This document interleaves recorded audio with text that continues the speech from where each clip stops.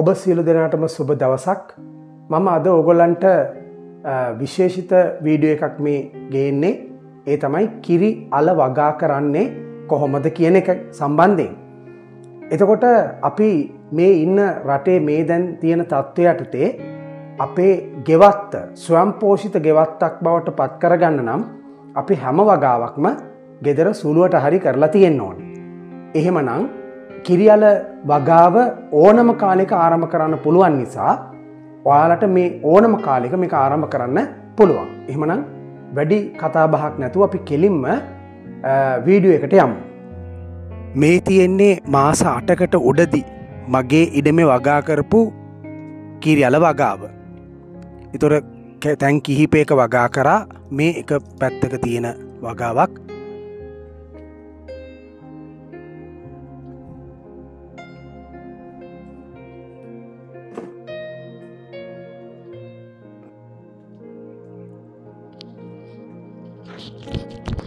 කිරියල වගාවක් අපි කරගත්තහම එක වටිනාකම තමයි අල විතරක් නෙමේ මේක මේ පිත්තත් අපට ආහාරයට ගන්න පුළුවන් මේ පිත්ත ආහාරයට ගන්න පුළුවන්. ඒ වගේ මේක දලු මෙවැනි දලු ආහාරයට ගන්න පුළුවන්. පිත්ත සාමාන්‍යයෙන් මේක සම්පුර්ම සුද්ධ කරලා මේක කෑලිවලට කපලා උනුවතුරේ දාලා වතුර අයින් කරලා ඊට පස මේක කරවල හරි හාල් මැස්ව හරි දාලා අපට බැදල ගන්න පුළුවන් ක්‍රමයක් තියෙනවා. ඒ වගේම උයන ක්‍රමයකුත් තියෙනවා. එතොට ඒක අවශ්‍යනම් වීඩියෝ එකක් ඒවට දාන්න පුළුවන්. එතොට කිරියාල කියන ඉතාමත්ම පෝෂණය ගුණයක් තියෙනවා වගේම රසවත් වෙනත්ම අමුතු රසයක් තියෙන අලවර්ගයක්. එතකොට අපි මේක පුළුවන් අපට මහා පරිමාණ වගාවක් හැටියට වාණිජ වගාවක් හැටියට කරන්න. එහෙම බැලුව සාමාන්‍ය අඩි තුනක විතර දුරකට අපි ගස් හිටව්වොත් අපට පුළුවන් සාමාන්‍ය අක්කරයකට ගස් හාරදහක් විතර හිටවා ගැනීම හැකියාව තියෙනවා. එතකොට සාමාන්‍යෙන් හොඳ ක්‍රමයකට කාබනික වගාවහිට මේ කරන්න පුළුවන්. මොකද කාබනික ක්‍රමයට කාබනික පොහොර දැම්මහම වේලාසන කාබනික පොහොර දාලා මම මෙතන හදල තින එදීපට බලන් මේ හරිනම් සම්පූර්ණෙන්ම මේ වගේ බැම්මක් දාලා ඒකට රොඩු කොල දාලා ඊළඟට කොම්පොස් දාලා ඒ ක්‍රමේර්තා මේක හොඳට හදලා තියෙන් තුර ඇති තරන් ඇතුළට අල බහින්න පුළුවන් විදිර තමයි මේක මම හදල තින මේ වගේ බැමි දාලා. එතකොට අපි වගාවක් හැටියට කරනවාන මුළු ඉඩමම සම්පූර්ණම හාරලා අවශ්‍ය විදියට කොම්පොස් දාලා ඒවගේම අපට වෙනත් පොහොර වර්ග දාලා කොල පුළු පුරුවන්න පුළුවන්. ඒ වගේම ඉඩමේ තිබිච්ච ඉඩමේ තිබිච්ච සම්පූර්ණයෙන්ම සුද්ධ කරපු කොල වේලෙන ඇරලා ඒවා මේ පස්වලට යට කරන්න පුළුවන් ඒ විදිට හොඳට අල බහින පුළුවන් විදිට හදාගන්න ඕනේ. අපිට රසායනක පොහොර දානවානම් මේකේ පිති අනිවාර්යම අයින් කරන්න ඕනේ පිති සාමාන්‍ය අපිට ආහාරයට ගන්න පුළුවන් නිසා හැම ගහකම පිති තුනක් විතර උඩට හිටින්න අනිත් පිති ටික කපල අයින් කරන්න ඕනේ එතකොට තමයි අල බහිනි නැත්තං රසායනක පෝර දැම්මහම ගහවර්ධනය වෙනවා මිසක් අල බහිනි නැහැ. අපි බලමු ඉස්සෙල්ලාම මේකේ ගුණය මොනවගේ ගුණයක් තියෙනවාද කියලා. කිරියලවල විටමින් වර්ග කනිජ ලවන වර්ග දියවැඩියාව පාලනය කළ හැකි තන්තු බහුලව තියෙනවා. ශරීරයේ විස හරණය කරන වක්ගඩුවල ක්‍රියාකාරිත්ව වැඩි කරන ඒවගේම කිරියලවල දළු පිති ව්‍යාඥනක් ඉදිර ගන්නකොට ඒක වෙනමම අපට පෝෂිදායි තත්ත්වයක් ලැබෙනෝ.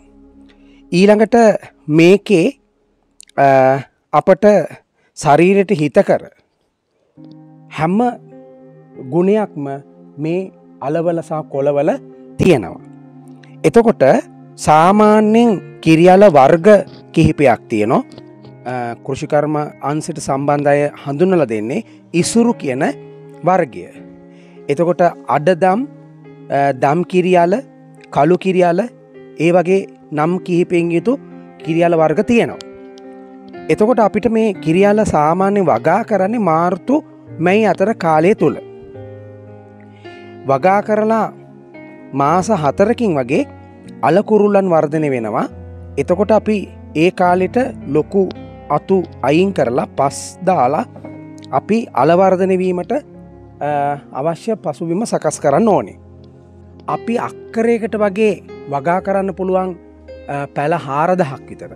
ඒකැන වානිජ වගාවක් හිට වගා කොළොත් මේ විදිර හොඳට පිළිවෙලට වගාකොරොත් අවම වසෙන් කිලෝ දායත් විස්සත් අතර ප්‍රමාණයක් එක ගහකින් අවුරුද්දක් වගේ ඇතුළත සාමාන්‍ය අර මම කිව්ව ඉසුරු කියන වර්ගේ අපි හිටවොත් මාස අටකින් අපට පලදාව ගන්න පුළුවන් මාස අටක් ඉතර යනකොට ගොඩක්දුරට මේ කොල කහපාට ගැහෙනෝ මේ විදිට එතකොට අපි දන්න අල බැහල කියලා එතුර අපිට වගාවෙන් අලගලවගන්න සුසු කාලි බවට අපට හඳුනගන්න පුළුවන්.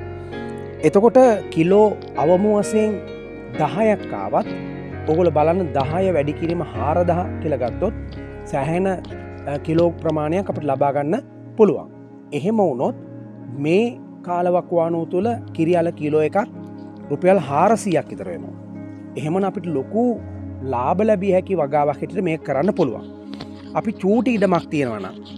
ඒ චූටි ඉඩමක අපට අවශ්‍ය ප්‍රමාණයට කිරියල වගා කරගන්න පුළුවන් වෙන. එක ගහක් අපි වගා කරගත්තොත් ඒ එක ගහේ අලෙ ගැලෙව්ව හම ඒක මව් අලය කෑලිවලට කපන්න පුළුවන්. සාමාන්‍ය අපි එහෙම කෑලිවලට කපලා අපට පුළුවන් පැල පහලවක් ඉතර ගන්න. ඉතුර මේ වගේ ගස් පහලවක් විස්සක් අපි හදාගත්තොත් අපට ඊළඟ අවුරුද්දේ පැල එකසිය පණහාකට වැඩි ප්‍රමාණයක් නිර්මාණය කරගන්න පුළුවන්.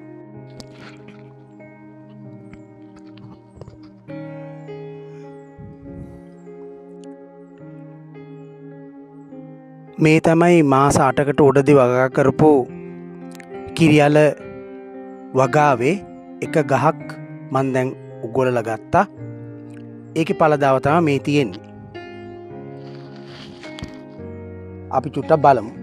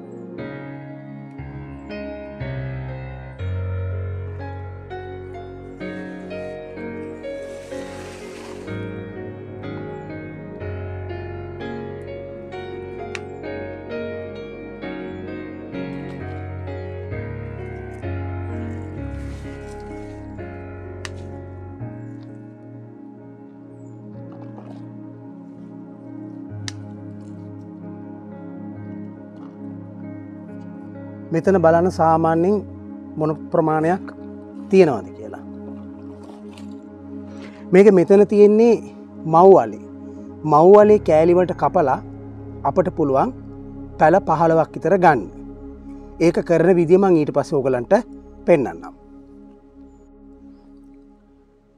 මේ අල හිටවන්න අපට ගොඩක් අපහසුවෙනි නෑ මොකද මේක මව්වලේ අපි මේක කෑලිවලට අංගලේ ප්‍රමාණයට මේක පෙති විදිට කපලා දෙපැත්තටම අලු ගාලා අපි හිටව්වාම එකන්නේ වැලි තවානක තැම්පත් කළහම ඔයිටිසලමං වීඩියෝස් දාලා තියනෝ වැලි තවානක තැම්පත් කරනාකාරය ඒ ක්‍රමයට දාලා ටික දවසක් තිබ්බහම යන්තන් වැලි උඩින් දාලා තියන්න ඕනේ. තුර මොටයියෝ හැම පැත්තික මේනෝ.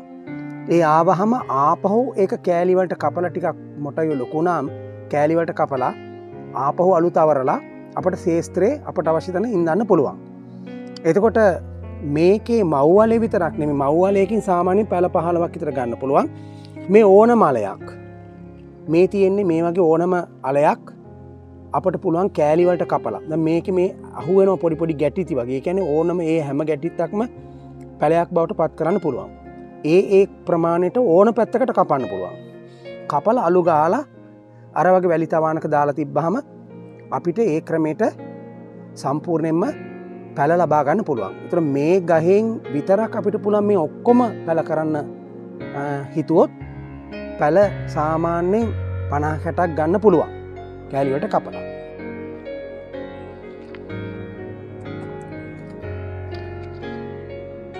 මේ තියෙන්නේ මව්වල අඟලේ ප්‍රමාණයට කෑලිවට කපල තියෙන ආකාරය. අපිට මේ විදිට අරගෙන මේ සාමාන්‍ය මේක අලු කාලා මේ වගේ දෙපැත්තටම අලු ගාලා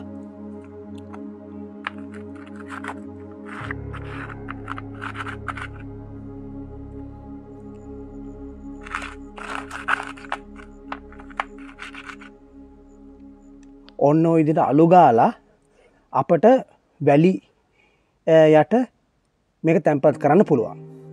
අපි සාමාන්‍යෙන් මව්වලේ නැතුව ඒක අනිත් අල නිකම්ම තියල තිබ්බොත් සෑහන කාලයකට තියන ආහරිට ගන්න පුළුවන් ගලවල එදාම කන්න වශ්‍ය නැහැ මේක බලන්න නිකම්ම මේ විදිර මොටය දානු මේක ඕන්නම් පුළුවන් දෙකට කපලා හිටවන්නත් ඇත තනි අලිය හැටිට හිටවන්න පුළුවන්. ඉවරන්න මේක හැම එකම ඒවගේ ඔයිටිස්සල ගල උප එකක්. මොටොයෝ දාලා තියෙන පොඩියාල ටික මන් තියල තියෙන්නේ වගා කරන්න.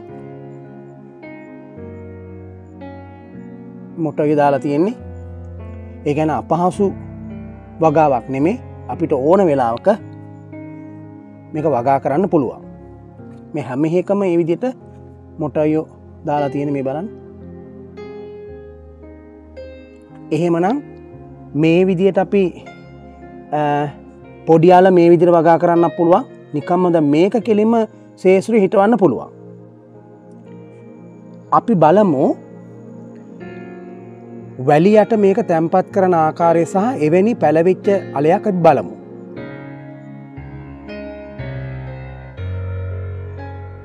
මේ බලන් මේ දෙපැත්තේ අලු තවරලා තියෙන්නේ අපිට මේක ගොඩාක් ගැඹුරට දාන්න ඕන්න මේ වගේ වැලි යට තාලා මේගේ සාමාන්‍ය ප්‍රමාණයකට මේක වහල දාන්න ඕන්නේ. එහෙම වහල දාලා ඕකට යන්තන් වතුර ඉහල තියන්න ඕනි උදේට හවසට යන්තම් වතුර ඉහල තිබ්බහම මේක මොට්ටය දානු.